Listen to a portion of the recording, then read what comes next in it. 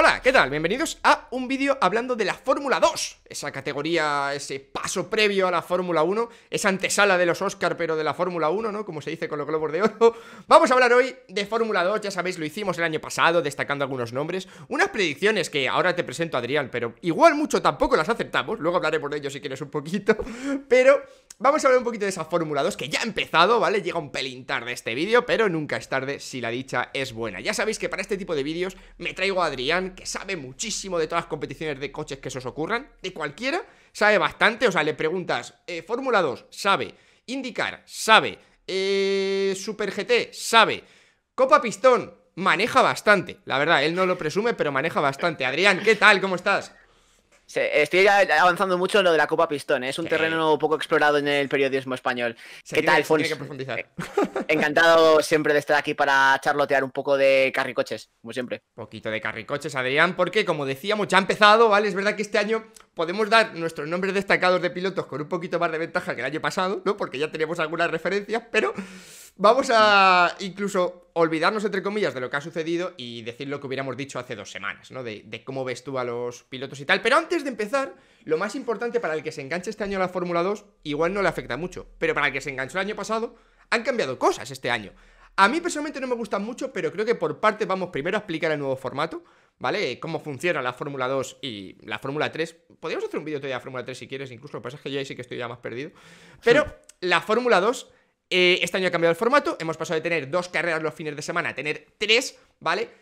Y yo, Adrián, de lo poco que he entendido de este formato, es que más o menos el cuanto más delante quedes, más puntos consigues. Pero a partir de ahí, casi todo lo que han tocado yo me lío bastante. No, a ver, eso, eso, eso ya era cierto antes y sigue siendo cierto ahora. O sea, no por quedar en el, no por ser Alessio de Leda vas a sumar más puntos. Es evidente que ahí a lo mejor alguien ha entendido salvo, el reglamento con, con, los Salvo que sean infracciones de la DGT italiana, entonces sí, ¿no? Claro, ahí, ahí sí que tienes todos los puntos, o no, no los tienes. Pero sí que es cierto que el formato ha cambiado y además de forma bastante drástica por el hecho de que este año no van a coincidir en ningún gran premio ni la Fórmula 2 ni la Fórmula 3. Antaño, siempre que había F3, coincidía con la Fórmula 2 pero este año eh, se ha optado por un enfoque diferente y va a haber fines en los que haya Fórmula 2, fines en los que haya Fórmula 3 y fines en los que no esté ninguna de las dos o haya otras cosas. Hmm. Eh, esto hace que haya más fines de semana con eventos de soporte, pero eh, a la vez, regamos, se ha hecho que haya más carreras de cada categoría en los fines de semana en los que toca. Y hmm. a su vez ha reducido el número de eventos que hay en Fórmula 2 este año. Lo que se ha hecho con el formato ha sido ampliarlo de las dos carreras habituales a las tres carreras por cada evento. Y esto ha hecho también que el, la temporada de Fórmula 2 pase de 12 eventos a solamente 8. Esto quiere decir que si antes había 24 carreras, ahora sigue habiendo 24 carreras lo que la forma de estructurarlas ha cambiado un poquito, que eso es lo que vamos a explicar ahora. Claro, porque yo creo que al final, ahora hablamos directamente de los puntos que se consiguen y tal, pero lo que esto va a obligar, aunque bueno, esto sí que lo dejamos después, porque te voy a decir lo de que creo que esto va a comprometer mucho al piloto que tenga un mal fin de semana. Porque tú tienes un mal fin de semana y te va a afectar el doble que antes porque tenías más carreras y más fines de semana donde un circuito no se te da bien o lo que fuera. Pero, Adrián, por partes. Digamos que, si yo no lo he entendido mal, la carrera más importante, la del domingo, ahí sí que gana importancia la carrera del domingo. Y la del viernes, mm, ¿tú cómo la definirías? Bueno, eh, hay que explicar cómo funcionaba el formato anterior para que la gente se ponga en situación. Em, en lo que no cambia, bajo ningún concepto, es la clasificación del viernes. Eso se sigue haciendo tal cual. El viernes clasifican los pilotos y demás. En el formato anterior, la clasificación del viernes lo que ponía era la parrilla para la carrera del sábado, que era la carrera principal, la carrera larga de una hora. Y luego con los resultados de esa carrera, que se otorgaban puntos a los 10 primeros, pues los, eh, como la Fórmula 1, lo mismo, la misma distribución de puntos más los 4 puntos de la pole, pues los 8 primeros puestos de esa carrera se invertían para la carrera del domingo, que era la carrera sprint, la corta, la que menos puntos daba, 15 al ganador, 12 al segundo y mm, hacia abajo, o sea, se quitan los puntos del primero y del segundo, el resto es exactamente igual. Pues este año lo que se ha hecho ha sido mover, eh, al haber, no a tener, tener que haber F2 y F3 en la mañana del domingo, solo una de las dos, pues lo que se ha hecho ha sido poner la carrera principal el domingo y por lo tanto la clasificación del viernes determina la parrilla de la carrera principal que ahora es el domingo. Eso es lo importante, que es la tercera carrera. Es lo, más raro, ¿no? El ver, a mí me sorprendió, yo lo sabía, pero me sorprendió ver el viernes como, claro, esta clasificación es para el domingo. O sea, eh, exacto. Pero claro, la gente dirá, ¿y cómo se decide la, parrilla del viernes, Adrián? Es que realmente es también para la carrera del, del sábado, para la primera carrera del sábado, pero eh, alterando el orden de los 10 primeros puestos. Es decir, tú coges el orden de la clasificación del viernes, con ese orden entero tienes la clasificación, la, parrilla de la tercera carrera, pero ese mismo orden, cambiando los 10 primeros puestos, va a ser la parrilla de la primera carrera, de la primera carrera sprint, que va a ser también igual que lo que eran las sprint anteriores, 40 minutos, eso va a ser la primera carrera del sábado, y luego con el resultado de esa carrera sprint, sí que otorga puntos a los 10 primeros, se invierten otra vez los 10 primeros puestos y con ello se hace la carrera segunda sprint del sábado. No, no es fácil, pero, o sea, es mucho lío, pero si yo, lo si yo lo he entendido bien, el viernes tú clasificas, clasificas décimo. En la primera carrera sales primero. Exacto. En esa carrera acabas primero. En la segunda carrera sales décimo. Y en la tercera carrera sales décimo. Hagan lo que hagan en la segunda carrera. Vale. En la primera carrera la puntuación es como en la segunda. La primera y la segunda tienen las dos el sábado, normalmente en un fin de semana normal, tienen la misma puntuación de sprint que tenían, que es, insisto, eh, la misma de Fórmula 1, solo que quitando los puntos del primero y del segundo. O sea, 15 para el ganador, 12 para el segundo, 10 para el tercero y así hacia los 8 primeros, que son los que puntúan. Hasta el octavo, ¿no? Y luego ya en la del domingo sí puntúan 10 en la del domingo se puntúan 10. Lo que sí se invierte el, sábado, los del sábado son los 10 primeros puestos, aunque la primera carrera solo puntúan los 8 primeros, hmm. son los 10 primeros puestos los que se invierten. Vale, vale, vale. Entonces, y luego tenemos la, pole de verdad, la del viernes, son 4 puntos. Si no me equivoco, ¿vale? Y vuelta rápida ahora mismo mm, no, no había. Sí, sí hay. Hay punto, hay punto por la vuelta rápida. ¿En todas las eh, sesiones? En las tres carreras, siempre y cuando eh, el piloto esté en top 10. Si no está en top 10, pues se coge el piloto del top 10 que ha hecho mejor vuelta en carrera y él se queda al punto. Vale, no, no me acordaba bien de eso, te lo quería preguntar porque no me acordaba bien si era solo en algunas carreras o en la larga o tal. Vale, o sea que en todas. En las Es que se pueden conseguir muchos puntos un fin de semana, Adrián. Eso es a lo que, a lo que vamos, porque yo aquí ya entramos un poquito en zona de debate, luego hablamos de pilotos destacados y tal. Pero a mí no me convence, tío. O sea, a mí me gustaba más dos carreras de Fórmula 2 y dos de Fórmula 3, tener variedad y no sé, creo que, ya digo, perjudica mucho al piloto que tenga un fin de semana malo, ¿no? Ocho carreras, solo ocho pruebas. Sobre todo. Se, te rompe el coche el viernes y estás comprometido para todo el fin de. Sobre todo si la carrera que tienes mala es la primera. Porque si abandonas en la primera eh, y no consigues avanzar en la segunda, te has comprometido dos carreras de golpe. Ese es el, el principal deterrente que tiene este sistema. Por lo pronto, eh, hay que tener en cuenta una cosita para el reparto de puntos, que es cierto que cada fin de semana otorgan más puntos, pero hay menos eventos. O sea, como decíamos, había el mismo número de carreras. Lo que hay es menos carreras principales. Si eh, el año pasado eran 12 carreras principales y 12 carreras sprint, este año son 8 carreras sprint eh, principales y 16 carreras sprint. O sea, que ahora las carreras del sábado van a tener una importancia muy gorda. Claro. Pero claro, la del domingo sigue siendo la que más puntúa, sigue siendo la que se marca con mm, rendimiento puro de la clasificación del viernes. Hmm. Y como ya vimos en la primera ronda, hay mucho margen, depende de qué carrera, si da relativamente loca, para que un piloto que ha tenido un mal día o una mala primera carrera vuelva en la segunda. Lo que, por ejemplo, en circuitos más, más estrechitos, como el siguiente en el que va a correr la, la Fórmula 2, pues va a ser un poco más complicado avanzar posiciones, la verdad. ¿Cuándo vuelve? ¿Cuándo vuelve la Fórmula 2? mola? Pues no, no, para nada. Ah, eh, ah verdad, tres son Solo, Creo que son tres meses. Solo, Son solo ocho eventos este año. va a estar muy. Va, a haber unas alteraciones raras. De hecho, el calendario de la Fórmula 2 está hecho un poco con los pies en lo que a los escenarios se refiere. El de la Fórmula 3 tiene mejores circuitos. Ellos no vuelven hasta Mónaco el 23 de mayo. Madre mía. Sí, sí, es verdad que ahora que lo has dicho, es verdad que me acuerdo que, eran tres meses de parón ahora. de Nos quejamos en la Fórmula 1 de tres semanas. sí, de hecho. Dos meses de parón en hay que decirlo para los que no lo sepan, que luego después de Mónaco se va a Bakú a principios de junio, si se corre en Bakú, luego a Silverstone en julio, a Monza a principios de septiembre, a Sochi a finales de septiembre, y luego termina la temporada en diciembre en, Jeddah, Arabia Saudí, y en, en Marina. Y en Abu Dhabi, Vale, pues eh, yo ya digo, Adrián, a mí no me convence mucho. Yo prefería mis dos carreritas de F2, mis dos carreritas de F3, porque vas viendo cosas diferentes. Y al final, ojo, que parece que tres carreras son más, pero yo lo siento como que me han quitado una yo siento como que en estos fines de semana especiales me han quitado una de F3, ¿sabes? Ya tenía mis dos de F2. Es mejor espectáculo la F2 que la F3, también te digo. O sea, me parece siempre mejor, pero aún así, siento que, que yo, yo, me siento. A mí me han robado una carrera, Adrián. a mí no, no, me han robado una prueba. Y entiendo que para el espectador puede ser hasta complicado, ¿no? Porque tenías más carreras antes. Mm. Y eh, en parte ha sido eh, la manifestación de la renuncia de la Fórmula 1 al formato MotoGP. Que llevan años queriendo emular y que nunca ha terminado de cuajar. Mm, mm. Cada vez que tú oyes hablar de MotoGP en las noticias o en los periódicos o donde sea, te, remarcan los resultados de MotoGP, los de Moto 2 y los de Moto 3. Con la Fórmula 1 es como si para la mayoría de medios generalistas la Fórmula 2 y la Fórmula 3 no existiesen, salvo cuando acaba la temporada. Y esto no ayuda, esto no ayuda. Yo creo que se han dado cuenta de que es muy complicado, de que no pueden replicar el formato, porque además Moto 2 y Moto 3 son solo una carrera, y aquí son múltiples carreras porque el formato así un poco lo requiere. Que ojo, esto no, esto ya lo hablamos en otro vídeo, pero en su momento lo que antes era la, Fórmula 2, que era la Fórmula 3000, solo tenía una carrera. Se mm. podría hacer así, no se hace así. Eh, supongo que lo que se busca es, eh, no sé, darle más kilometraje a los pilotos en fin de semana, darles más oportunidades a lo mejor, en vez si tienes una carrera mala, en vez de tener una oportunidad para recuperar, tengas dos. Pero eso luego va al, efecto contrario, ¿sabes? Quizás suponga también, Adrián, un ahorro para los equipos, ¿no? Es más barato moverte a ocho eventos que, a, que al doble. Aunque, tengas más actividad el fin de semana, en logística ahorras, ¿no? En, mi, en mi lógica. Esa es la teoría, pero claro, eh, la mayoría de los equipos de Fórmula 2 corren en Fórmula 3. Entonces, eh, ya lo dijo en su momento el responsable de MP Motorsport, que eso de que em, viajar a 15 grandes premios es más barato que viajar a 12, no es del todo cierto. Ya, ya, ya. Realmente. O sea, es. Depende de cómo lo mires, sobre todo si el piloto que tienes pone mucho dinero o no. Ya, ya, ya, ya.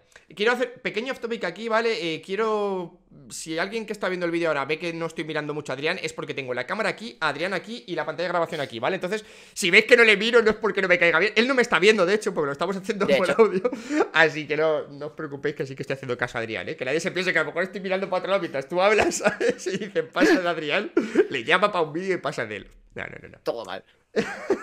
bueno, pues eso, el formato, que tú más o menos lo puedes entender. A mí, yo ya digo, prefería mis, mis cuatro carreritas y tal, pero bueno, que lo importante es que si nos divertimos, pues ya está. Yo creo que con, haber invertido el orden, eh, haber hecho simplemente la sprint el sábado y la principal el domingo habría bastado, pero bueno, yo no soy Bruno Michel, así que. Ya, ya, ya, no, cada uno aquí tiene sus, sus costumbres. Vale, pues eso sería lo relativo al formato, un poquito complejo, pero más o menos se puede, se puede llegar a entender. Y vamos a lo realmente importante, ¿no, Adrián? Porque al final la F2 uno la ve con ganas de a ver quién sube de estos a F1 en, próximamente y, quién puede tener una carrera destacada. Esto siempre es con muchos matices, porque puede haber pilotos muy destacados que aún así tengan pocas opciones de subirse a Fórmula 1. El año pasado lo vimos con Callum Aylot, que por mucho que fuera piloto de la Ferrari Driver Academy y ser uno de los más destacados del año pasado, sí es piloto reserva de Ferrari, pero se le ven muy poquitas opciones de realmente poder conseguir un asiento. Mm. Es, triste, pero es así como funciona el motor Sport de élite. Así que vamos a hablar un poquito, pues, de ambos. Yo creo que en este caso sí coinciden este año los destacados con los que pueden subir. Menos los de la Academia de Alpine, que esa gente no sube nunca, pero. Están condenados. Están condenados a acabar en un, en un hipercar en 2024, lo sabemos todos. claro, pero, pero este año. hay muchos nombres, creo, Adrián. Yo creo que este año en tengo muchas más dudas de quién puede ganar que el año pasado. El año pasado teníamos tres o cuatro nombres yo este año veo, sin exagerarte, 7, 8, que perfectamente pueden estar arriba. Luego ya veremos y evidentemente lo que decimos, son 8 eventos, a ver cómo funciona la fiabilidad en estos coches, además, que es un factor muy importante en la Fórmula 2, que te puede dejar el coche tirado en la salida y sorpresa, o sea, no hay, no hay por dónde salir.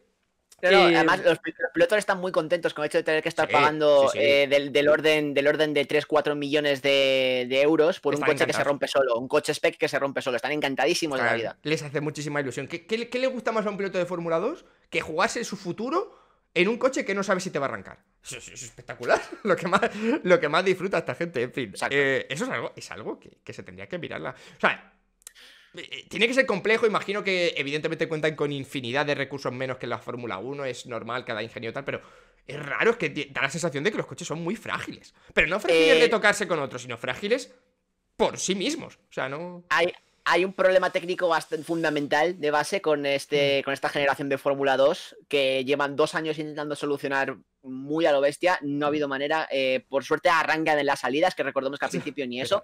Hace dos, años eh, fue, hace dos años fue la del escándalo que, hubo una salida en la que la mitad se quedaron parados, una barbaridad. Hubo varias salidas en las que calaron los coches. Eh, no todos, pero obviamente, pero había uno o dos, a veces tres pilotos calados en parrilla o en las preparrillas. arreglaron lo del embrague, pero siguen sin arreglarlo de que el coche a mitad de carrera, pues. Ya, ya, ya. A ver, que, que siempre han fallado los monoplazas, ¿vale? Pero que es que en el caso de la Fórmula 2 es un poquito. Y además me fastidia porque la Fórmula es una competición muy divertida por lo general, pero estas cosas le quitan seriedad. O sea, a veces dices, es que esto no, no le da el rigor de ser la antesala de la Fórmula 1. O sea, luego la comparas con otras categorías por fuera y dices, es que, joder. De hecho, es al revés, porque la que los coches que tendrían que romperse sin ningún motivo son los Fórmula 1, ¿no? Los sí, Fórmula sí, 2. que, Los que, Fórmula que 2 van súper al límite, que están súper cargados de cosas, sí.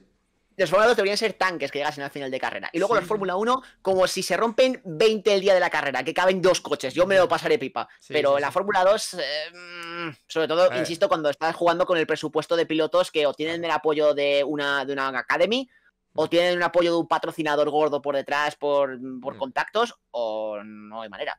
Sí, sí, no son los dos perfiles que hay en Fórmula 2, no, no hay mucho más, la verdad. O sea, de hecho, cada vez es más cara la Fórmula 2 también y es más complicado llegar incluso a, a competir ahí. Por ejemplo, no sé si este año Roberto Meri no ha podido llegar a conseguir ni siquiera un sponsor para F2, que, es, que al principio estuvo probando en los posts de, de Abu Dhabi y tal. No, no sé, no no sé tampoco bien la historia, ¿vale? Pero, pero sí que probó y sin embargo es otro año más que ni siquiera tiene... O sea, ya no hablamos de Fórmula 1, hablamos de Fórmula 2.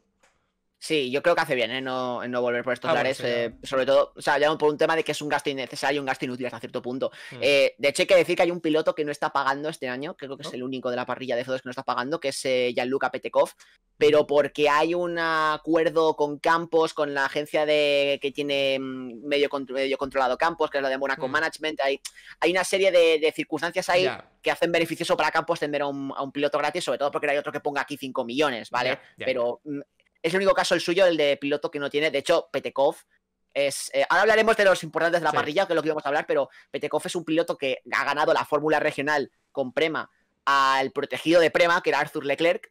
Eh, un campeonato que estaba hecho básicamente para que lo ganara Arthur Leclerc y no ha podido seguir en el organigrama de Prema porque se ha quedado sin dinero. Y Claro, eh, él no, no iba a correr este año y le ha salvado la vida eh, unos contactos que le llevaron a Campos al F2. Eso es un salto brutal, pero es que no le queda otra opción. Era esto o quedarse en su casa. Claro, ha pegado un salto de. Bueno, lógico sería F3 ahora, ¿no? Tal, pero ha pegado el salto directamente a la F2. Ojo con Gianluca. Gianluca Bettini. No le tenía yo cogido el, el, el hilo a, Es- a Petekov. Es muy buen piloto, pero el salto lo va a acusar mucho y el equipo tampoco es la, la verdadera panocha. Pero es bueno, pero, es bueno. pero no pasa nada, Adrián. Tiene tremendos ocho fines de semana para adaptarse. tiene, tiene tiempo de sobra. En fin, vamos Sí. ya con nombres, Adrián. Yo, ya sabes, y lo dije el año pasado y sigo pensándolo, a mí me gusta mucho Wang Yuzu, ya sabes que es una pequeña batalla personal, soy Mm. muy fan de este piloto. El año pasado Sí. no fue su año, y no solamente por fallos de coche y tal, también tuvo errores. Este año, yo te digo este nombre y luego ahora tú me dices los tuyos, ¿vale? Pero yo creo que Wang Yuzu es el que más obligado está a ganar. De todos, ¿vale? Porque va a ser su tercer año en Sí. Fórmula 2. Eh, es o ganas este año o ya la Fórmula 1 empieza a ser eh, algo... Ya, ya puede llegar, pero a nivel de prestigio, digamos, por hablar lo que comentábamos tú el año pasado, a nivel de prestigio, no ganarlo ni siquiera en tu tercer año el Mundial. Mm, Tú está en, está en el límite eh, de o saltar siendo considerado un piloto de cierto talento mm. o saltar siendo considerado Un el pesado de la Fórmula 2 que Sí. sube porque, porque no queda Exacto. otra, porque está en un buen equipo y por experiencia. Exacto. exacto. Eh, está en ese límite. Sobre todo porque tuvo una tem- una temporada un poco mala la segunda. Y ya de por sí Zur subió con pocas expectativas a F2, porque en F3 con Mm. Prema pecheó tres años. Sí, sí. Eh, tiene muchas cosas a su favor con cómo se maneja el coche. Tiene un muy buen equipo, eh, del que recordemos hay un patrocinio muy importante chino detrás. El Uni Claro. no es de Virtuosi. Y es bastante probable que a poco que lo haga bien este año, un campeonato o un subcampeonato esté en Fórmula 1. El Mm, yo problema es que- con quién, porque recordemos la academia de Zu es el gran handicap que también tiene otro de los que me gustan bastante, que es Lungar. Eh, El factor Alpine, que es que Alpine, o sea, que Alpine Renault no ha subido a un piloto pero- nunca. A Fórmula Pero aquí, aquí hay unos factores diferentes. Renault tiene muchos intereses en China. Sí, sí, lo sé, tiene lo sé. dinero. Lo sé, Y si el piloto es bueno y, los in- y todo coincide, Alpine ya se encargará de poner a Zu en Fórmula 1, ya sea al lado de Alonso, ya sea al lado de quien sea. Sí. Eh, yo creo que si es un campeonato o un subcampeonato, o sea, Sí. el tercer puesto le da superlicencia, pero con un campeonato o un subcampeonato, yo creo que es casi seguro que tendremos a Zu el año que viene en Fórmula 1. ¿Tú crees que meterían que quitarían a Ocon y Zu? O sea, yo creo que también, ¿eh? O, o Alonso que- si decide no seguir. Yo creo que Claro. Ocon se le abrirá otras puertas eh, fuera de Alpine. ¿Y fuera de la Fórmula 1? Aunque ya estáis muy off topic. Mm, todavía no. Todavía no. Salvo que, le, salvo que se quede sin asiento muy a lo bestia y no creo. Aunque él está dispuesto a probar otras cosas, que ya lo demostró en su momento cuando Sí, se fue al. DTM. sí. mm, Creo que de momento aún tiene un poco más de recorrido. Salvo Bueno. que haga una temporada horrible, aniquile a Alonso y le pase un bandón. No, cre- no creo que le pase eso, pero Otro día hablamos del bueno de Esteban Ocon. Eh, Wang Yuzu, ya digo, para mí, no sé si el favorito, pero sí al menos el que más obligado está a ganar, aunque también favorito. Yo creo que, aunque solo sea por experiencia ese añito más, hmm, puede marcar la, la diferencia. Adrián, te dejo decir a ti nombres porque yo, si no voy a decir solo los que me gustan a mí, y esta gente va a pensar que estoy yo boicoteando el, el podcast. No, hombre, pero al fin y al cabo es, tu conversación, yo solo me adapto a lo tuyo, pero hay, yo creo que es un año muy bueno y que hay que seguir con mucha atención porque a pesar de los, de los parones, porque hay muchísimo talento este año. Yo creo que este es uno de los años donde converge eh, los buenos experimentados con la gente muy buena que sube desde abajo. Mira, vamos a un perfil de que hay mucho, hay mucho piloto bueno arriba realmente, que no es el típico año en el que mm, te gana The Breeze. Eh, y también, un poco, también un poco por insistencia. De Breeze, fue en su tercer o cuarto año, igual, si no me equivoco. Entonces, sí, exacto. Vamos a hacer una cosa. Voy a decir nombres y tú me vas poniendo caras. y, vas, diciéndome tal. Wang Yuzu, hemos dicho que hoy obligado y más o menos favorito. Y de hecho, recordemos que es, líder del campeonato después de la primera ronda de Bahrein, que además ganó la carrera principal y podría haber ganado dos ese fin de semana de haber tenido un poquito más de suerte en la, primera sprint. Así, decías. Le falla mucho la suerte. Robert Schwarzman. El año pasado tú me dijiste, Armstrong es mejor. No voy a decir yo que te. No, no voy a echarme yo flores ahora, Adrián, no voy a decir yo qué tal. Pero evidentemente. No, a ver, Armstrong, Armstrong tuvo una serie de circunstancias muy en su contra, que luego lo hablamos bien, mm. pero eh, sí que es cierto que Schwarzman rindió bastante mejor. También el equipo era mejor. Mm.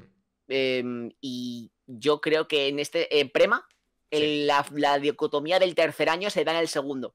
Mm. Si no ganas en el segundo año en Prema, tu situación es muy delicada. Porque ya has tenido dos años de maquinaria top en los cuales no has podido demostrar. Schwartzman acaba muy bien 2020, yo creo, a nivel de sensaciones, a pesar de que no acaba la pelea por el título. Hmm. No ha empezado bien este, porque al final da la sensación de que se ha quedado las tres carreras fuera del podio por más por acción propia que por acción ajena. Hmm. Y creo que es un piloto que si consigue asentarse en su rol de, coco de la parrilla, con gente muy competitiva enfrente, hmm. debería ser uno de los favoritos al título. Sí, Schwartzman para mí también es uno de los, de los favoritos. Piastri es la gran sensación, Adrián, para mí. El, que, más, está ilusionando, ¿no? Quizá recién subido de F3, campeón de F3 el año pasado.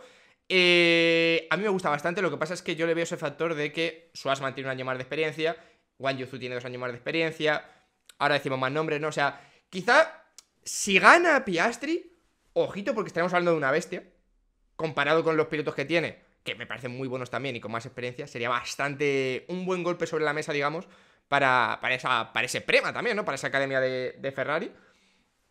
Adrián, ¿tú qué opinas del bueno de Oscar Piastri? yo creo que es el perfil agresivo que le hacía falta a Prema para mm, eh, presionar a Schwartzman a dar un mejor rendimiento. Porque, por ejemplo, con el caso de, de, Mick Schumacher, es un, era un perfil diferente de piloto, ¿no? De cocción muy lenta, mm. eh, que basa su progresión en en aprender del primer año en el segundo y ir siendo regular más que espectacular. Hmm. Piastri yo creo que es más del perfil espectacular. Creo que es esa clase de piloto que no tiene miedo a meter el coche, que además es muy rápido y se adapta muy bien. Ya lo ha demostrado en las, en las Junior, fue subcampeón de la F4 británica, campeón de la Fórmula Renault Eurocup, campeón de la Fórmula 3. es un piloto que está acostumbrado a ganar y a ganar relativamente rápido. Eh, tiene, digamos, ciertos problemas de ímpetu en ciertas ocasiones que le cuestan y el año pasado sufrió un poco para ganar el título a, a, Sargent y a Purcher. Pero, eh, y yo creo que en parte pagará la novatada como la pagó en la carrera principal de Bahrein, hmm. en más de una ocasión. Pero creo que es un piloto que mm, demuestra bien que la, jornada de rookies viene muy potente y tiene maquinaria para conseguir victorias este año tranquilamente. No sé si para ganar el título, ¿eh? porque sería, yo creo, sí, pero es un eh, a la Fórmula 1 ya si lo hace. Sí, claro, es un piloto que aunque no gane el título, a lo mejor si te hace subcampeón o tercero, hostia, eh, o sea, ya, ya estaría bastante bien. O sea, quiero decir. No, no me sorprendería en absoluto, la verdad. Ya, ya, a mí tampoco, a mí tampoco. Visto lo visto en Bahrein, no me sorprendería. además es muy joven Piastre, ¿no? ¿Qué tiene exactamente? No tiene más de 20, o sea, a los 20 no llega, yo creo. Te, pues, te, he pillado mismo, Adrián, te he visto en la cara, no pasa nada. No, no, pero te, digo ahora, 19 años tiene. 19 años recién cumple. Eh, no, cumple 20 dentro de 5 días, de hecho. 19, 19. Sí, bueno, 19, 20, vale, vale, vale. Ya, ya, ya suena hasta viejo para Fórmula 1 eso, si lo piensas dices, joder. Eh, todo mal, ya eh, a Stroll, Verstappen, como subieron, madre mía. Ah, em, hablando de pilotos jóvenes, Adrián, quería hilarlo de esta manera. El que se habló mucho el año pasado, que lo hizo espectacularmente bien, y que no es rookie exactamente porque ya corrió un par de carreras el año pasado, Teo Purcher. A mí me gusta Teo Purcher, pero reconozco que en Fórmula 2, lo poquito que le he visto todavía, ninguna actuación me ha cautivado. del todo, ¿no? O sea, evidentemente es pronto, ¿no? Para analizarlo, pero me falta que dé ese pasito para creérmelo. Igual que Piastri, si le veo ya en Fórmula 2, le digo, hostia, Piastri y tal. A Teo Burcher, lo que pasa es que Teo Burcher creo que tiene 16 o 17, claro. Es súper joven, Burcher, creo que tiene 17, sí. Eh, nadie esperaba que hiciera el año que hizo el año pasado en Fórmula 3. Era novato, recordemos, venía de ganar la, la Fórmula 4 alemana y casi gana la Fórmula 3. Sí, sí, o sea, que se quedó a nada. en la última eh, carrera en Mugello, que fue espectacular de la Fórmula 3. Es una actuación muy por encima de lo que se esperaba, teniendo en cuenta su, muy, su poca experiencia previa. Hmm. Y va a ser un año de aprendizaje para él. Tiene un coche decente, con matices importantes. Está en ART. ¿Qué quiere decir está en ART? Que en ART hay un piloto que pelea por el título y un segundo piloto que eh, traga lo más intragable en media parrilla para atrás todos los años. Y que no me crea lo puede ir a mirar a, las tablas de resultados. Todos los años. El segundo piloto parece eh, la reencarnación de Samaya, Dragunatan y, y no sé, y, y Kartikeyan. ¿Y quién va a ser quién? Yo creo que Lungar va a ser el del coche bueno y, y Pusher va a ser el de que le toque, el que le toque tragar. Eh, o sea, ya le veo bien, es un año que necesita kilómetros en el que no tiene presión ninguna realmente para destacar. Hay gente muy buena por delante. Tendrá algún día destacado, pero yo creo que va a parecerse más a lo que se vio. A ver, yo creo que su objetivo es intentar que la comparación con Marcus Armstrong del año pasado sea buena para él. Sí. Sin más. Sí, sí, estoy de acuerdo. O sea, a mí me gusta, pero es que ya digo que tiene 17 años. O sea, es que Igual que decimos mucho aquí, Adrián y yo, lo de al tercer año un piloto en Fórmula 2 ya empieza tal. Es que tampoco sería extraño que en el segundo año este chico empezara a destacar, simplemente por edad, es que es muy joven, o sea... Sí, que, se, que, se, puede dar las circunstancias, ¿eh? ya hemos visto a, los Verstappen o demás, pero no todos los pilotos siguen ese, nivel de progresión. Verstappen es, un caso excepcional y ya está. Y no, podemos comparar todos con Verstappen. Es que es... Exacto. En el caso de Purser, eh, creo que puede ofrecer un gran nivel, pero de momento este primer año, en el equipo en el que está, con las circunstancias las suyas particulares, es de aprender. Sí, sí, sí. O sea, yo no le daría candidato a... O sea, ya digo, un top 5 de Purser en el Mundial sería un bombazo. Para mí. O sea, yo, ahora mismo, yo mismo no lo contemplo. Si lo consiguen en el segundo RT, eh, suban a ese, tío ya un Fórmula 1 el año que viene sin, sin, esperar ni un año más. Al Mercedes, por Hamilton. Tanto renovación, venga, pum. Te Purcher que por cierto va con. No, ¿con, quién va Purcher? Ahora que No va con nadie, ¿no? o sea, es eh, francés. Es francés, pero creo que con Alpine tampoco tiene nada creo que no está en ningún programa junior. Ahora me pillas, pero te lo compruebo rápidamente. Pero vamos, que mientras me vas planteando el siguiente vale, piloto, vale, vale, Sí, sí, o sea, yo es que estoy pensando ahora por francés. No sería raro que tuviera algo con Alpine, pero es que no me suena ahora mismo. Pero bueno, está en el, en el sistema de Sauber, eh, que ah, tiene. Exacto, que van dando financiación a pilotos. Que es, digamos, que Sauber sigue existiendo, llevando lo que es Alfa Romeo, o sea, Alfa Romeo Sauber. En F2 es Charuz, ¿no? Si no me equivoco, estaban como aliados con ellos. Eh, tenían una alianza con Charuz que ah. ya no existe. Ha ah. habido una cosa un poco mm, rara entre bastidores y ya no existe esa alianza. Ah, vale, vale, vale. Bueno, no sé. Eso puede ser un problema para Puchero. Lo que pasa es que siendo tan joven, si realmente destacara, yo creo que rápidamente te llega Horner y Helmut Marco, ¿sabes? Y te dicen, vente a esta academia. o sea, tardaría poco en encontrar una academia el, vuelo de Purcher si, si realmente se metiera en top, en top 5. Y tiene talento, sí. Yo creo que sí. Tiene talento. Lo que decíamos, ya sin salirnos de ART, Lungar está en ese año en el que pues ya tendría que dar un pelín el pasito también, porque si no me equivoco es su tercero también, de Lungar. Segundo, segundo ah, segundo. Pero no llegó a hacer carreras hace dos años. Me suena a mí con Lungar.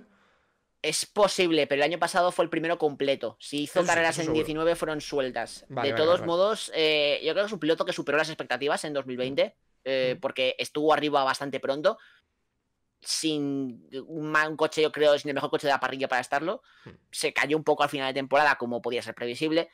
Pero es un piloto que yo creo que está en situación también para, destacar y ser uno de los hombres notables de este año, a pesar de que la primera de primera semana tampoco ha salido muy allá, queda segundo en la hmm. segunda sprint, pero se le puede esperar un poquito más. Yo creo que con respecto a pilotos que han acabado por delante suya, creo que está en condiciones de pelear. Hmm. Y luego uno que el año pasado no estuvo muy bien del todo, aunque había determinadas carreras en las que brillaba. Y este año no empezó mal, yo creo, eh, al menos en la clasificación. El brasileño Felipe Drugovic. Eh, Adrián, ¿tú qué opinas de este chico? Para mí es mi apuesta personal de campeón de este año. Hostia. Felipe Drugovic. Más incluso que Juan Yuzu.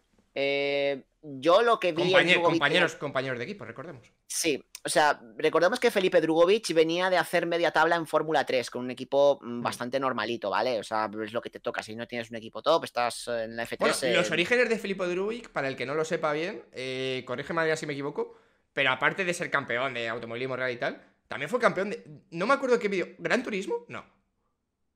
No, de ahí lo estás mezclando con Igor Fraga. Hostia, estoy, mezclando. Vale, vale. Oh, no, no, no. Sí, sí, sí, es verdad, estoy mezclando pilotos. Perdona, nada. No he dicho nada, olvidemos esta parte. Es verdad, es verdad.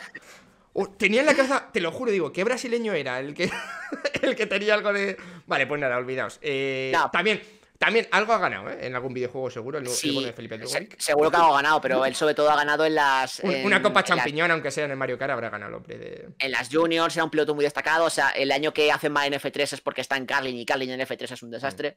Eh, sube a MP el año pasado en Fórmula 2, que también es un desastre de equipo. y hace muy, muy, muy buena temporada. Queda noveno, consigue tres victorias, una de ellas en una carrera principal, hmm. eh, con un coche que solo un año o dos antes, Roberto Meri describió de inconducible. Sí, sí, sí. Y ahí estaba Felipe Drugovic poniéndolo, y más teniendo de compañero, eh, creo que era Ragunata de compañero, o bueno, no, eh, no o a... No, era... Mm, no, no me acuerdo. No me acuerdo ahora, pero... de hecho, lo voy a comprobar ahora mismo porque a ver si vamos a decir que no se quiere azar. Eh, bueno, era, era Matsusita. Bueno, ah. incluso con un piloto experimentado como Matsusita al lado, él rindió mucho mejor que Empezamos por no saber los compañeros y los acabamos confundiendo con Sim Racers, Adrián. Estoy... se, me, mezclan los nombres, pero lo que siento es que Drogovic rinde muy, muy bien en un equipo de media tabla, mm, zona baja. Y yo creo que un equipo como Virtuosi, que está siempre arriba peleando por top 5, si se adapta bien un poquito, yo creo que Drugovic puede ser campeón este año perfectamente y no me sorprendería lo más mínimo. De hecho, yo creo que es el que parte con más garantías para dar ese salto adelante. Sí, sí, sí, estoy, estoy de acuerdo. Eh, a mí, ya digo, me gustó porque era eso, el coche del año pasado, sí, no era muy bueno, o sea, él no lo hizo exageradamente bien, pero porque el coche era lo que tú decías, un MP hmm. Motorsport que siempre ha sido un equipo de los más humildes, digamos, de la, de la Fórmula 2. Y Adrián, a ver, podemos estar diciendo nombres toda la, toda la mañana si quieres, pero por ir más o menos cerrando, y tú me dices alguno más si te suena. Sí, hay por supuesto. Hay dos nombres que van pintados de Red Bull, que uno sí se habla bastante de él, y sí se habló mucho de él el año pasado, y otro no se habló tanto, pero para mí ya acabó la temporada pasada un poquito de tapado, y este año no ha empezado mal, que es, uno, el indio Jihan Darubala, para mí el tapado, que ya en Fórmula 3 no lo hizo mal con los Prema, lo que pasa es que sí le hacían bastante sombra tanto Armstrong como Schwarzman, eh, y el otro es Yuri Vips, que se habló muchísimo antes de su noda, que al final fue el que subió a Alfa Tauri, al principio del año pasado todos decíamos, yo me incluyo, o sea, con la verdad por delante, que el que subiría al siguiente a Fórmula a Fórmula 1 con, con Alfa Tauri y con Toro Rosso iba a ser Yuri Vips. Y no, y no fue. De hecho, su noda adelanta a Vips en el, en el orden de, ascenso a Toro Rosso, porque mm. a Alfa Tauri, quiero decir, porque mm. la idea a principios del año pasado era preparar a Vips para la Fórmula 1 y por ello se le lleva a la Superfórmula japonesa. Sí pero el problema es que el probablemente de todos los pilotos a los que podría haber afectado la situación del COVID, a Vips es de los que más le afectó el COVID con diferencia, porque le truncó la temporada en Superfórmula, eh, tuvo que estar yendo y viniendo para la Fórmula regional, cuando pudo ir a Japón, el contrato con el equipo de Japón se canceló, tuvo que volver, perdiéndose rondas en Europa por el camino, tuvo que, eh, hizo media temporada de Fórmula 2, mm, un poco sin test, casi un poco la remanguillé, le vino fatal que fuera justo en el año en el que, en el que Yuki Tsunoda brillase con la fuerza con la que lo hizo. Y es una lástima porque Pips es un muy buen piloto. Es un hombre que en Fórmula 3, en la europea, eh, era el único piloto que estaba con Prema cuando los coches de Prema volaban, pues él estaba ahí mezclándose con ellos. Mm. Y Red Bull le tiene muy buena consideración y por eso le mantienen en, en high-tech. Claro, eh, se podría decir que a lo mejor hay un asiento libre en años venideros si, por ejemplo, la progresión de su noda sigue o si Gasly se va a hacer otras cosas. Entonces, puede que tenga oportunidades pero mm, habrá que verle este año. Mm, de momento la primera ronda ha sido desastrosa para él, no, ha habido manera entre, sanciones, incidentes, no ha sacado ningún punto. Pero no le perdáis de vista porque va a estar ahí. Va a ser un piloto que sin duda va a plantar batalla y va a ganar alguna carrera. Y sobre Darubala, ¿tú qué me dices? Porque a mí, ya digo, en F3 me gustó, pero es verdad que en todo momento decía, vale, es que tiene un prema. Entonces está con Schwarzman y con esto, pero tiene un prema. El año pasado empezó muy mal, empezó muy mal, pero a mitad de temporada y al final, de hecho al final llegó a ganar carreras, O sea, fue como de repente un salto. No sé si subiría el Carlin, subiría, imagino que evidentemente el coche eh, implicaría bastante. Y este año lo empezó bastante bien. Ahora mismo es el tercero en el mundial. Darubala tuvo dos cosas en contra. Fue el piloto al que más se le rompió el coche, con diferencia del año pasado, y tuvo a Yuki Tsunoda al lado. Esas dos cosas son comparaciones muy, muy brutas porque Sunoda fue un cañón desde el minuto uno y a Darubala le costó adaptarse a los Pirelli. Cuando lo hizo se le rompió el coche y tampoco tenía la velocidad eh, apropiada para destacar. Yo no estoy convencido de que sea un piloto extraordinario ni madera para la Fórmula 1 mm. personalmente, mm. pero mm, no se puede negar que está en un buen equipo con el que poder ejecutar eh, una temporada decente. Ha empezado bien, digamos, con, con cierta regularidad. Carlin es un buen equipo, sobre todo si es capaz con su estilo más tranquilo de, imponerse, digamos, a, lo, alocado de Tantictum, que ahora hablaré de él. Pero bueno. Te iba a decir, eh, tenía dos nombres más apuntados para hablarlos por encima, sí, sí, Uno era el de Tantictum. Sí, o sea que, que Darubala es un piloto que se puede. O sea, yo voy a decir una cosa, como pilotos indios que hemos visto en los últimos años, igual es de los que mejor pinta tienen. Lo que pasa es que igual tampoco es mucho hablar, ¿no? bueno, eh, a ver, es evidente que es de los mejores. O sea, a ver, la gente, a lo mejor, la gente no es consciente. Eh, Narain Kartikeyan, cuando sube a Fórmula 1, lo hace siendo tercero de la 3.5. O sea, que si luego pasa lo que pasa son por circunstancias ajenas, pero que, y que, nunca tuvo un, coche decente. También las cosas vamos a decirlas como son. No, tenía, no tenía los resultados de Chandok ni de esta gente. O sea, es un piloto que sube con unos credenciales, lo que luego se encontró con el Jordan y. Hmm. Y con eso no das. Y luego para mejorar, y luego para mejorar el HRT, ¿sabes? Luego para el HRT, claro. Y después, y después de seis años fuera de la Fórmula 1, que al final estas cosas, estas cosas estas cosas afectan, que no es que sea ya en un no, extraordinario, pero que, o sea, daba un mínimo. ¿Darubala daría ese mínimo que ofrecía Kartikeyan? Probablemente. Eh, digo, no creo que sea una superestrella, ni mucho menos, pero creo que es un piloto que si tiene los apoyos necesarios para llegar a la Fórmula 1 y encuentra un asiento en depende de qué equipo, se lo puede pagar perfectamente. Sí, a veces. Hay que conseguir los puntos de superlicencia, por ejemplo, ¿sabes? Que eso Roy Nissany a lo mejor ya le interesaría un poco. Claro, esto, pasa mucho con los tópicos, ¿no? Es igual que ahora con su noda sube a la Fórmula 1, ah, piloto japonés, suicida como Sato, como Nakajima. que no, no. Eh, con los indios pasa igual, ¿no? Eh, vete el mismo saco a Kartikeya, a Chandoki. No, no, macho, no. No, no, y eso, y, eso que Sunoda se tiró un par de Super Let to Breaking que es muy sí. initial ¿eh? que eso, eh, haciendo un poco ya no era la tradición, pero no. Eh, o sea, Darubala yo creo que es probablemente de lo mejor que ha salido de India en los últimos. Yo creo que casi desde siempre, te diría. Incluso mejor que Ragunatan, ¿eh? incluso, ¿eh? O sea, es que, es que estamos hablando. Hay que ponerlos a otro nivel, porque están los mm, pilotos indios y luego está nuestro dios de la cabeza cuadrada, que eso ya es otra historia. el bueno de. El bueno de, de ¿Qué fue de él? Lo último que sé de él es que en no sé qué videojuego en una carrera virtual lo descalificaron. en plena pandemia cuando empezó, me acuerdo, no sé si fue en algún evento de Gran Turismo o algo así, que corría él y le descalificaron. Como, algo así. Sí. O sea, una cosa... me, No, te, no te sé decir una memoria, me quiere sonar que intentó competir en algo el año pasado, pero bueno, la pandemia pues eh, le trastoca los planes de todo el mundo, o sea, que saber. competiría en, en Sim Racing con el bueno de Felipe Drugovic. Vamos a... Vamos a seguir por ahí. Igor Fraga sigue en F3, ¿no? Ya que hemos hablado de él un poquito. Pues creo que sí. Creo que sí sigue en Fórmula 3 este año. Te lo compruebo ahora en un momento. porque la parrilla de Fórmula 3 no la tengo tan, tan controlada como la de como la de la Fórmula 2 este año. Sobre todo porque, bueno, eh, había yo que tardar un poco de empezar. Y bueno, pues ya te digo, mm, creo en el caso de Darubala que es un piloto que todavía tiene que probarse bastante para, para demostrar que puede ser merecedor de un asiento en, Fórmula 1. Veo que Fraga no está confirmado para la Fórmula 3 y sirve de referencia. Vaya, pues esperemos que lo, que lo consiga, que me cae, me cae bastante bien. no, te hace como ilusión ver a gente que de los no, no salta de los videojuegos a la competición real, ¿eh? No, pero que que no te da la sensación de que alguien que los videojuegos y dice, anda, yo también a lo mejor algún día, ¿no? Sueñas un poco, haces Para es bueno. No, y es bueno. y, es como que humaniza, humaniza a los pilotos estas cosas, para mí, ¿no? Que destaquen también estas cosas, me, parece, me parece bonito. Pero, siguiendo con la Fórmula 2, yo, Adrián, podemos sacar más nombres. Tú tenías ganas de hablar de Antictum. Yo hay otros dos nombrecitos que dejaría así: el de Tictum y el de Berchor. A partir de ahí, yo ya no diría muchos más nombres. Tú, si quieres, añade los que veas. No, a ver por hablar un poco por encima, hmm. tenemos a Liam Lawson segundo en la general, que es otro hmm. novato al que eh, tampoco deberíais perder mucho de vista, porque el año pasado en Fórmula 3 eh, estuvo en zona media también, eh, creo que quedó quinto sexto en la general, yendo de menos a más durante la temporada, pero es un piloto que vino de, Australia y en su primera temporada en Europa ya estaba ganando, y hmm. siguió ganando a medida que ha ido, ha ido progresando en los, en los rankings, ha ido muy rápido. Es un piloto que yo creo que la Fórmula 2 le viene mejor que la Fórmula 3 y que ojito a Lawson porque a lo mejor sorprende a más de uno. Eh, creo que es un piloto que, puede estar ahí. Recordemos que gana la primera carrera de la temporada, queda tercero en la, principal de Bahrein, así que yo no le quitaría el ojo de encima. yo personalmente Lawson nunca, nunca me había convencido mucho tal, igual porque no tuve en cuenta el coche que tuvo el año pasado en la F3 y tal.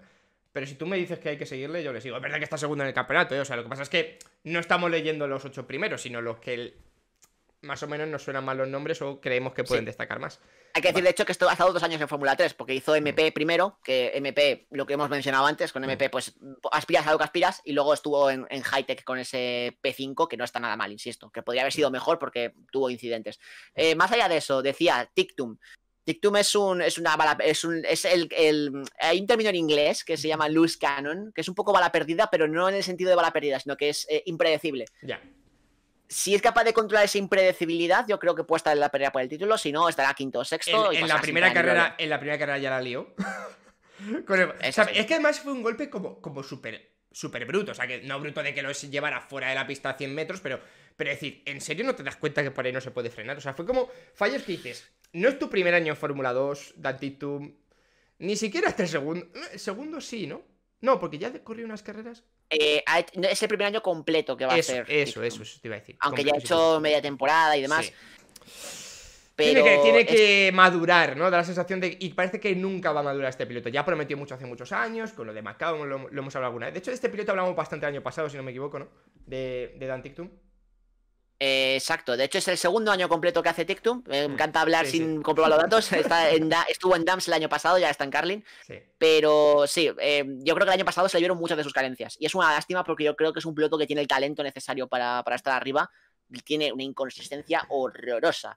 Horrorosa. Y eso, es, y eso es mortal de necesidad. Eh, porque aparte de ser rápido, tienes que ser rápido varias veces. Y eso es lo que le falla a TikTok, que no siempre consigue que esa velocidad esté de acuerdo a mantenerse en pista o a, o a ser consistente con sus tiempos por vuelta. Pero tiene el potencial y está en un equipo decente como Scarlett, así que habrá que ver.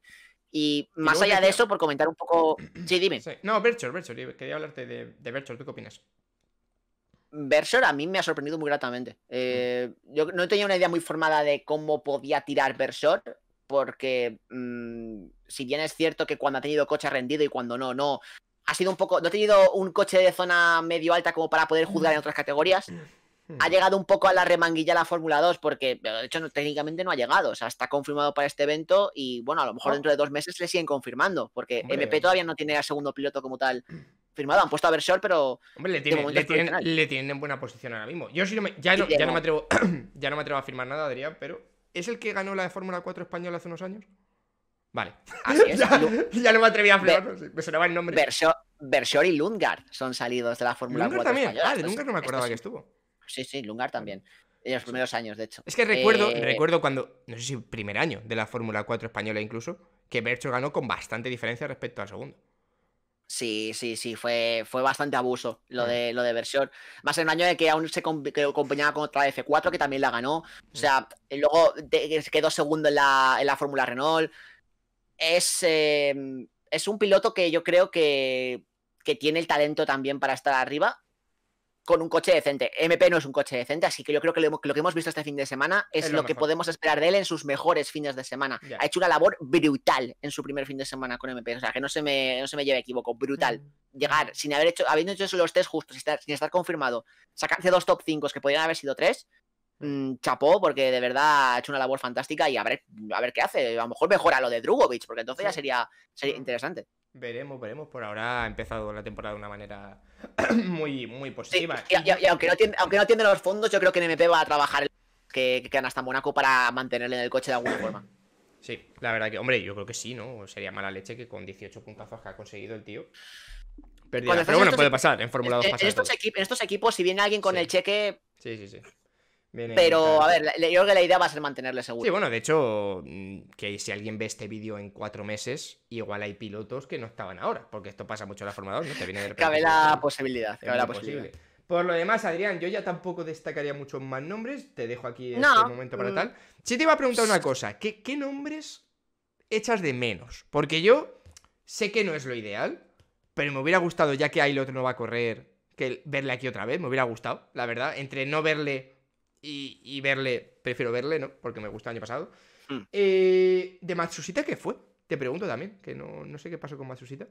Porque tampoco me parecía pues malo del todo. O sea, no me parecía. te daré una cosa después, pero te voy a responder lo de Matsushita.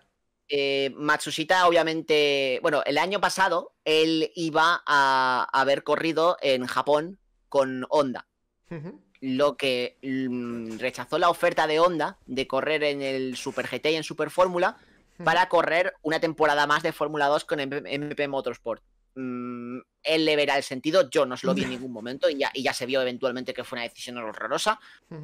Eh, luego, a mitad de temporada, cuando en Japón viendo que los resultados iban mal en Europa y que en Japón el asiento que estaba ocupando Sergio Sete Cámara, después de hacer Sergio Sete Cámara una primera carrera en Super Fórmula que hizo la pole y se estrelló en la primera curva, él se fue, porque se fue a la Fórmula E, pues eh, aceptó la oferta de Honda de, venga, te vamos a subir al Super Fórmula este de aquí. Y no lo hizo mal. Eh, ¿Qué ha pasado después? Que Matsushita se ha ido a Nissan en Super GT, ha firmado con los, con los rivales. O sea que obviamente lo de la Fórmula 2 Caput, y ya no solo de la Fórmula 2 Caput, sino que Honda luego, eh, Matsushita firmó por su parte un acuerdo para correr en Super Fórmula con otro equipo, y Honda dijo que por aquí, porque este equipo dependía de Honda. Y le dijeron que no vas a correr un equipo con nuestros motores. Y, además va, a correr en Super GT, pero no en Super Fórmula. No son los japoneses orgullosos encima con estas cosas. No, para nada. O sea, pero es que además e-, era como la segunda vez que Matsushita les hacía un feo en 12 meses. Mm, ya se desvinculó de ellos y cuando dependió de ellos lo de puedes correr, puedes correr con tu coche con un motor Honda, le dijeron que, que nanay de nanay y de hecho al equipo que iba a correr con, con Matsusita le han hecho una putada impresionante. No, eh, no, le vamos, no, le vamos, a ver probando no le vamos a ver, no, le, vamos a ver ya creo en monoplazas. Mm, ya su trayectoria por ¿eh? otros. Qué pena porque, porque, porque malo no era, ¿eh? Pero las típicas decisiones políticas a veces que se toman. Bueno, políticas, o sea, decisión propia del propio piloto que ha tomado unas cosas y ahora, visto después, parecen erróneas no aprovecho su oportunidad, yo creo. Eh, podría ser rápido en Super Fórmula quizás, pero es algo que es algo que mm, será raro que le veamos en Super Fórmula eventualmente, pero yo creo que se le faltaba le faltaba todavía ese pasito más para, ser ese piloto destacado, lo que sí demostró su noda, básicamente. Mm. Eh, y vas a preguntar pilotos que yo echaba de menos. Sí. Eh, antes de eso iba a mencionar dos nombres que me había dejado atrás, que son David Beckman, que yo creo que es un piloto que puede rendir bastante bien en esta categoría. Otro caso de rendir mejor en F2 que en F3. Y Nada, yo creo que ya está. Le hemos mencionado a todos los demás así un poco importantes porque el resto son gente de media tabla o los cinco matados de turno, que todos sabemos quiénes son. Em, hay que destacar, por cierto, el caso de Mateo Nanini, que va a hacer Fórmula 3 y Fórmula 2 este año en una locura impresionante porque este chico no tiene la experiencia para hacer esto, pero bueno, la va a obtener a base de cheque. La, va a conseguir la experiencia, eso mínimo. O sea, la experiencia. eso lo va a conseguir.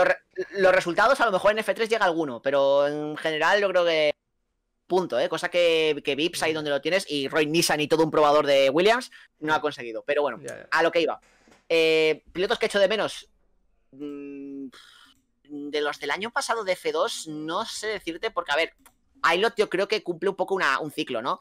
Ya. En el punto en el que no ganas el campeonato, quedarte otro año te deslegitima bastante en muchos niveles. Sí, yo me refiero eh, porque no estuviera parado, más que nada, porque va a estar de reserva de Ferrari, no va a subirse al coche. Pero tiene, tiene un buen rol. En Ferrari le tienen en buena consideración, sorprendentemente, por lo que tengo entendido. Y, creo que, le van a dar cositas. Yo creo, que están en, los planes de Ferrari para el Hipercar. Fíjate lo que te digo. Ah, eso te iba a decir. Porque, vale, para Hipercar o para otras cosas sí. Pero yo no veo que aunque Giovinazzi hiciera un mal año, él fuera una opción. No tiene pinta, no, tiene pinta. salvo, que Schwarzman este año fuera un desastre, eh, Piastri se viniera abajo tal y no le quedara otra, pero no lo veo. Sí. No lo, no lo veo. Al piloto que yo he hecho de menos este año en Fórmula 2 es uno que tendría que haber subido sí o sí de Fórmula 3, que es Logan Sargent. Es verdad, es verdad, Logan Sargent. Se ha quedado en F3 Logan, Logan Sargent estuvo a un accidente de ganar la Fórmula 3 el año pasado. Sí, sí, sí, me acuerdo, muy muy En la curva 2 eh, que se salieron muchos pilotos. Bien, pues eh, unos 12 días después a su padre le metieron una multa multimillonaria eh, porque su empresa de asfaltados cometió sobornos varios en Sudamérica. Hostia. Y el amigo Sargent se ha quedado sin dinero ninguno para seguir compitiendo en, prácticamente nada. Eh, o sea que no va a hacer F2 ni F3. Eh, estaba mirándole a ver si le conseguían algún asiento en el IMSA, que es la resistencia americana, para alguna carrera de resistencia. Pero está seco, seco y su carrera en Europa. Claro, también dices, joder, qué pena tal, pero también piensas, a lo mejor llego también a poder tener esos coches gracias a. ¿no? Bueno, es que su hermano también tenía financiación y competía en, esos stock en América y demás, o sea que. Eh, eh, la mayoría de pilotos que llegan a estos niveles no vienen cortos de dinero. Lo que luego los hay más cortos, los, hay más ricos que otros, pero todos vienen con, una bolsita. Sarjan no sabemos, no sabremos nunca, yo creo, si te ya suficiente para correr en Fórmula 2, pero quizá el hecho de que el padre pierda 18 millones de dólares en un juicio eh, contribuye a no poder pagar un Fórmula 2. Te, molesta, como que te parte la tarde, dices, hostia. Sí, te parte un poco la tarde. y es una lástima porque como prospecto americano era probablemente el mejor que había salido de, hecho, los últimos años. Creo que te leía a ti por Twitter que decías, ¿cómo no se ofrece a lo mejor Liberty de alguna manera a no financiar directamente, ¿no? Pero sí apoyar en cierta manera o buscarle sponsors a este chico para tener un piloto americano en Fórmula 1. Y no, no, no. Sí, porque es que Liberty se mete lo justo en F2. Eh, sobre todo teniendo en cuenta que ellos le cedieron la licencia a Bruno Michel y eh, hay una sinergia, pero más o menos básicamente le dejan que haga. No se meten en los asuntos de los equipos ni financian gente que se podría considerar en parte un error, porque ni que sea podrían incluso financiar algo al campeón, como si se hace en otras categorías. Por ejemplo, En, Estados Unidos al campeón de la Indy Lights le dan un dinero para que hmm. eh, suba, aunque sea hacer alguna carrera. Hmm. Eh, Liberty no se mete, quizá debería. Y esto, pues, eso, deja un poco a Sarian en la estocada y como digo, es una lástima brutal porque es un piloto que tendría que estar con toda esa generación de 12, 13 talentos que hay este año en Fórmula 2. Sí. Pues, pues sí, la verdad que estoy, estoy de acuerdo, me gustó, me gustó bastante, lo que pasa es que, bueno, pues los escándalos, al final cada uno tiene los suyos mm. y te pueden perjudicar. Pues Adrián, me lo he pasado muy bien hablando contigo en general de la Fórmula 1, no sé si quieres añadir algo más, yo sí. Te voy a decir una hablando, cosa. hablando de la Fórmula 1 contigo me lo paso genial, pero de la Fórmula 2 alucina. es increíble esto, y la gente que se esté fumando estos 50 minutos que llevamos, también espero que se lo pase bien. Una cosa que quiero hablar de la Fórmula 2, Adrián, y ya está, y cerramos con esto. ¿Has visto la intro de la F2? Es espectacular. Pero es, que, o sea, yo lo, igual lo que digo es una, es una barbaridad. Pero me, o sea, si, si en esa intro de F2 me pones a los pilotos de F1, creo que me vuelvo loco. O sea, quiero decir, a nivel de espectacularidad, esa bola de fuego del inicio, o sea, lo dejaré en descripción, ¿vale? El, el enlace a la intro. Si no la habéis visto, vais a flipar. No salen todos los pilotos. Eso es verdad que es raro. Pero es increíble, Adrián. No, no, eh, llevan un par de años haciendo intros muy buenas, todo hay que decirlo. Es cuestión de gustos, yo creo, pero no le hace ascos, no le hace ascos a la de la Fórmula 1. Está... Es que está ahí. Hay, que, hay, que tener en cuenta que hay todo un equipo dentro de. Eh, esto sí que el Liberty Media no se mete en lo que es aspecto organizativo como tal del campeonato, pero a nivel de promoción y a nivel de, grafismos y de mm, todo lo que es el aspecto publicitario de marketing de la Fórmula 2 sí que están metidos bastante. Eh, de hecho, cierto conocido nuestro va a estar muy metido en el tema de la Fórmula 2 este año, guiño, guiño. Hostia, eh, luego, me lo, cuentas que no me dejas un poco perdido. Sí, nadie, sabe de quién estoy hablando. Eh, pero la cuestión es que. Mm, no, me estás viendo la cara, pero realmente estoy un peli perdido. Ahora me lo escribes por WhatsApp. Te lo juro. Lo imagino, pero, lo imagino, pero... pero... si se sabe, ¿eh? Si, lo sabe todo el mundo, cierto youtuber de éxito que ahora vive en las Britanias. Sí, ahora sé quién es, pero no, no sé. Ah, amigo. Eh, no, pero ah. que eso, que hacen, ah, un trabajo. vale, oh, ahora me lo cuenta bien por WhatsApp detallado, ¿vale? Porque creo que te he entendido, pero bueno, vale, vale, vale, vale. Vale, ahora me lo cuenta bien. No, pero hacen un muy buen trabajo en ese sentido con lo que es a nivel de, paquete de promoción y demás. Están muy metidos con promoción, sacando vídeos, contenido, incluso la cuenta de la Fórmula 1 y, mm. y, la intro yo creo que es, una, es un reflejo de eso. Sí, sí, sí, y hacen, un, y, hacen hicieron un documental muy bueno estilo Drive to Survive para la Fórmula no 2 en, no lo he visto. en 2019. No sé si lo han hecho este año, creo que no, pero el de 2019, si lo podéis encontrar, recomiendo encarecidamente que lo veáis. Porque me suena que. Más auténtico y más honesto que el de la Fórmula 1. Me suena que estaba en Prime. Me suena que estaba en Prime Video. Así que sí, yo lo quiero ver, lo quiero ver, porque me lo, me lo dejé pendiente, lo vi un día y tengo que, echar un ojo. Pues nada, Adrián. Eh, hombre, yo creo que si en 53 minutos no te has quedado con ganas de decir algo, ya es casi más tu culpa que la mía, ¿no? Sí, un poco, un poco sí, la verdad. En, plan, en, parte, en, parte, es culpa del perro por morder y del dueño por dejar el perro suelto, ¿no? Un poco. Eso es. Pero no, Creo que hemos tocado los palos que hay que tocar. Solo eso, recordad que, la, que esto no vuelve hasta, hasta Mónaco, que antes va a haber Fórmula 3 el inicio en Barcelona, eh, que va a ser dos semanas antes de Mónaco, y que eso también va a tener, va a tener su miga. Así que, a ver, yo creo que va a ser una temporada interesante. Quiero ver cómo se, cómo se los pilotos de Fórmula 2 se adaptan a este formato y qué, hace, y qué efecto tienen esas carreras del sábado nuevo respecto a las del domingo. Pero va a ser una muy buena temporada de yo creo. Va a ser, va a ser divertido, Adrián. Estoy, estoy bastante de acuerdo. En general siempre es divertida la Fórmula 2, incluso cuando el nivel no es tan alto. Y este año que encima el nivel es alto, pues yo creo que puede ser todavía mejor. Adrián, muchas gracias, tío. Te seguimos leyendo. Te recordamos que Adrián es periodista de motor.es y que colabora también con F.1. Y eso, dejaremos sus redes en la descripción, ¿vale? como, como siempre, os dejaré el link de lo de la intro de F2, que tenéis que verla si no la habéis visto, eso es increíble. y nos vemos en, más vídeos con Adrián. Habrá que hablar de otras cositas, Adrián, cuando nos vaya surgiendo. Por supuesto, Quiero hablar. Me gustaría contigo hablar también dentro de no mucho, cuando empiece, que no sé, no sé cuándo empieza, de las W series. Cómo van a funcionar y tal, el formato, que también va a ser un poquito soporte la fórmula y tal. Hablamos de, eso. Cuenta con ello porque es muy interesante y yo creo que hay muchos detalles a lo general o, más de carreras desconoce un poco de cómo es la W Series el perfil de sus pilotos hmm. y yo creo que o de sus pilotas eh, y yo creo que, puede ser interesante. Las pilotas, hostia, se me había olvidado aquello de las pilotas, no, me acordaba. En fin, Adrián, muchas gracias. Tío. Ronaldo remata la pilota, gracias. Sí, sí, sí. Muchas gracias por todo. Todos los que estéis aquí, pues gracias por ver el vídeo hasta el final. Eh, suscripción, like, eh, todo lo que queráis para apoyar el canal. Yo estoy en Twitch, muy activo tal. También te puedes hacer un día algo en Twitch. Un día tú y yo, Adrián, una charleta. Habrá que ver, habrá que ver. Yo este, de hecho, este, este, formato es bastante de Twitch también, porque ya digo, he hecho directos más cortos que este vídeo, o sea. ¿Por qué, no me, sorprende?